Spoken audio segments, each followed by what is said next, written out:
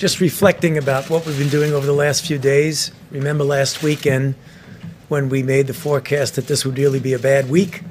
As I mentioned yesterday and the day before, it is, in the sense of deaths, a bad week.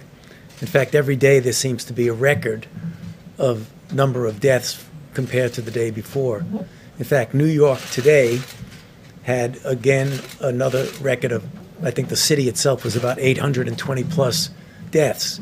But what we were predicting with the increase and the real adherence to the physical separation, the guidelines that the vice president talks about, the physical separation, at the same time as we're seeing the increase in deaths, we're seeing rather dramatic decrease in the need for hospitalizations. Like I think yesterday was something like 200 new hospitalizations, and it's been as high as 1,400 at any given time.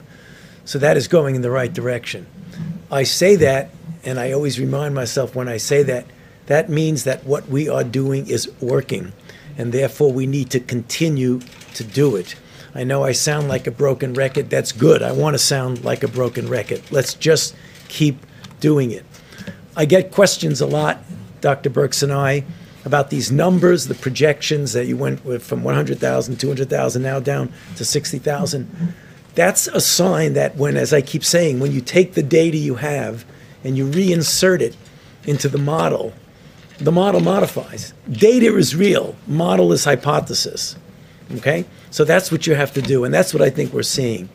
The other thing that's some just broad general good news from the standpoint of a scientific standpoint, that there are a lot of candidate potential therapeutics that are going into clinical trials now that we're sponsoring at the NIH.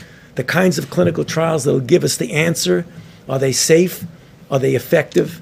And just what is the, the capability of using them under what circumstances? As prophylaxis, as treatment in early disease, in late disease. So as the time goes by and we have the public health measures to try and contain this, we're doing an awful lot from a scientific standpoint so that when we do get to next year, next fall, next winter, hopefully we'll have something that we can offer in addition to the very important public health measures.